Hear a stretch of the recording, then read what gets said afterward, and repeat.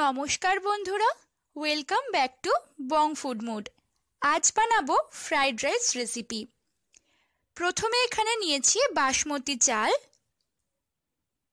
গাজর কুচি বিনস কুচি, কাঁচা লঙ্কা কুচি, হলুদ ক্যাপসিকাম সবুজ ক্যাপসিকাম সবুজ মটর, কাজু বাদাম, লবঙ্গ, এলাচ ঘি আর তেজপাতা।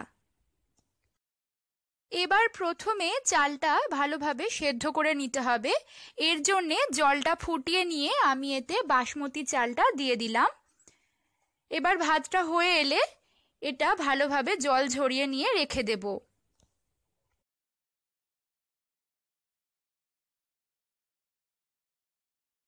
এবার কড়াইতে তেল গরম করে নিয়ে এতে বিনস কুচি দিয়ে দিলাম। এবার এতে দেব গাজর কুচি।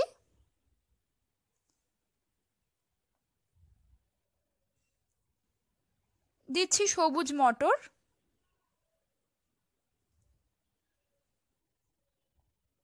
এটা দু থেকে তিন মিনিট ভালোভাবে ভেজে নিতে হবে। এবার এতে দেব সবুজ ক্যাপসিকাম। দিচ্ছি হলুদ ক্যাপসিকাম।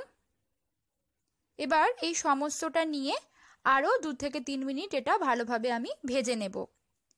এটা ভাজা হয়ে গেলে এটা আমি একটি পাত্রে তুলে রাখব।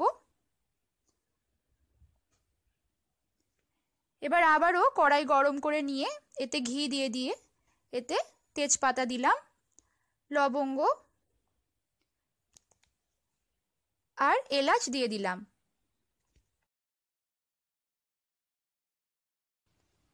দিচ্ছি কাজু বাদাম। এবারে এতে দিচ্ছি কাঁচা লঙ্কা।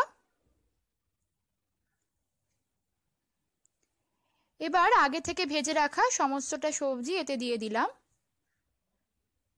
নাড়াচাড়া করে নিয়ে এতে স্বাদ মতো নুন দিয়ে দেব।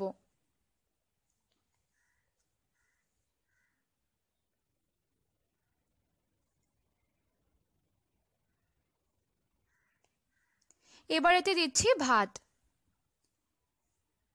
সমস্তটা ভাত দিয়ে ভালোভাবে এটা মিশিয়ে নেব।